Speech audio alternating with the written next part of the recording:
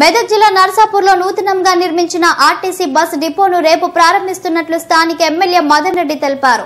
Bus depot ప్రారంభోత్సవానికి ముఖ్య అతిథులుగా మంత్రి Harish Rao RTC MD Sajjanar RTC chairman Bajireddy Govardhan Reddy వస్తున్నట్లు ఎమ్మెల్యే మదన్ రెడ్డి తెలిపారు. ప్రజలు టీఆర్ఎస్ నాయకులు పెద్ద ఎత్తున హాజరై బస్సు డిపో ప్రారంభోత్సవ కార్యక్రమాన్ని విజయవంతం చేయాలని ఎమ్మెల్యే మదన్ రెడ్డి కోరారు.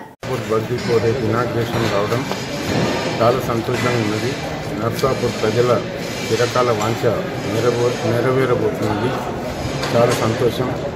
బస్ డిపోను కూడా అధికారుల సహకారంతో అందరి సహకారం తీసుకొని లోకల్ మా నాయకులను కూడా సంప్రదించి ఏ విధంగా అయితే మనకు బస్సులు నడుస్తాయి ఆ బస్సులను ఏ విధంగా దాన్ని ఇది చేసుకొని ఇవాళ మరి ఆర్టీసీ చాలా మరి నష్టాలలో కూరుకుపోయింది కనుక బస్ డిపోలు చాలా వరకు కూడా మరి నడవలేని పరిస్థితులు ఉన్నాయి.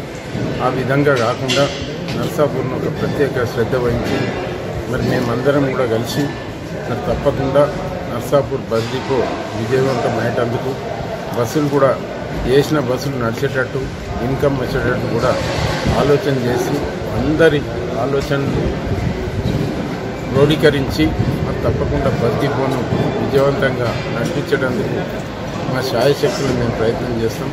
బ్రహ్మాండంగా కొన్ని బస్సులను కూడా ఎక్కువ తీసుకొచ్చి మరి వేరే ప్రాంతాలకు శ్రీశైలం కానీ తిరుపతి కానీ యాదగిరిగుట్ట కానీ ఇంకా ఆంధ్రాకు బయటోళ్ళకు కూడా కొంతమందికి ఎక్కడి నుంచి అయితే ఇన్కమ్ ఉంటుందో ఆ బస్సులను కూడా ఇచ్చేస్తాం.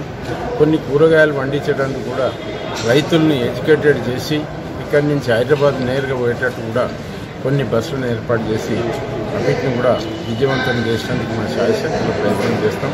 ఇటు గుమ్మడిదల ఏరియా కానీ ఇటు